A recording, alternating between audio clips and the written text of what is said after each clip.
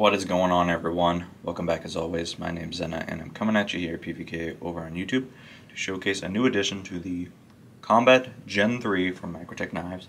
This was done in collaboration with Baker Forge to do a Raindrop Copper Maw Damascus blade on the Interceptor style blade for the Combat Gen 3. Now the Combat, the largest of the automatic lineups from Microtech, comes in a full 9.5 inch design featuring a 4.2 inch blade and a 5.5 inch handle. A bit heftier, coming in at 5 ounces, this one features 6061 aluminum handle scales with DLC finished hardware. Along with that new titanium pod clips with the roll ball design for the new generation, it is fully ambidextrous for all you lefties out there. All you gotta do is undo it and switch it right over.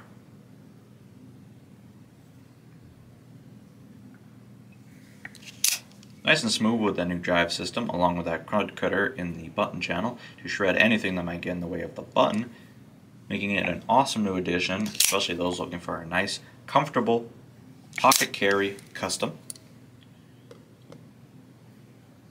Both of these do come with their own declaration of authentication, along with a cleaning rag to keep it nice and clean for fingerprints and dust.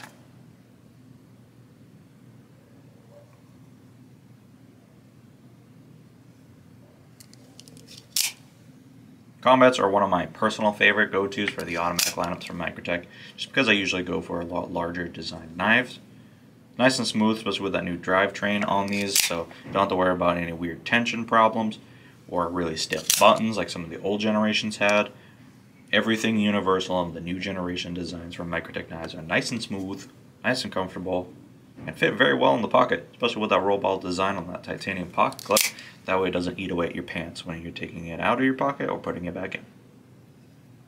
And as always, it always features a glass breaker at the back end. I feel like I don't show that a lot in these videos. Sometimes I forget about it because it's usually universal that Microtech has glass breakers, but there are quite a bit of new designs I don't. Glykon, for instance, and things like those.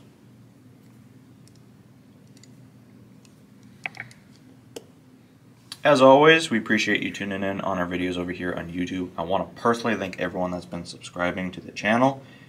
To keep up to date with more videos as they come out, definitely go down a little bit under this video, hit that subscribe button along with the notification bell.